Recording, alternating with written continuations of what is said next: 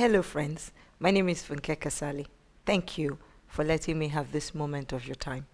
Today, I'd like to share four secrets with you from the book of Second Kings, chapter number 4, from verses 1 to 7.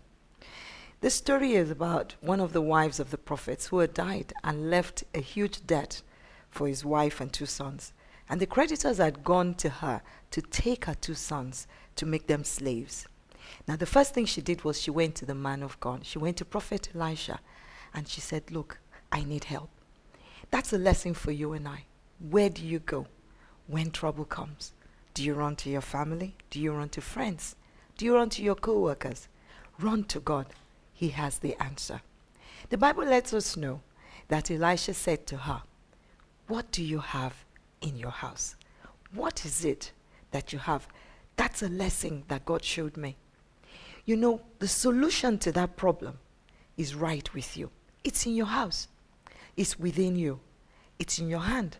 It may be a book you need to write, maybe a song, maybe a business that you need to start. The solution to your problem is right with you, people. And she said to him, I only have a pot of oil. Only. she had a great possession. And the Bible lets us know that the prophet said to her, Go out there, borrow many vessels, borrow as many as you can. In fact, he said to her, Don't borrow just a few. And when you've borrowed them, shut the door behind you and your sons and fill all the vessels. Then you go and sell. She needed to shut the door, and you need to do so. Sometimes people come to you and they doubt what God has told you. Shut the door against them. Shut the door against naysayers, dream killers, doubters, those, those who will tell you you can't do it. Shut the door upon them. And the Bible lets us know that as she began to feel, at a point came, there were no more vessels. And then the Bible says the oil stopped flowing. The oil stopped flowing. If she had borrowed every vessel in that village or in that town, she would have had oil flowing. You know, that's the lesson the Lord taught me. As long as you have ideas, as long as you have something, a dream, God will give you oil. You know what the oil stands for? Empowerment.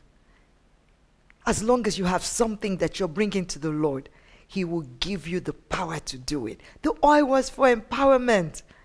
And the Bible says that when the vessels were finished, the oil ceased flowing. Don't get just a few. Come up with ideas. Come up with needs that need to be filled. Come up with something that you can do to help the kingdom of God. God will continue to give you oil. My friends, God is not wasteful. As long as you have something to offer, He will give you the empowerment to do and to use it for. I hope these few words have blessed you today. I'm Pastor Funke, and I thank you for spending these moments with me. God bless you. See you next time.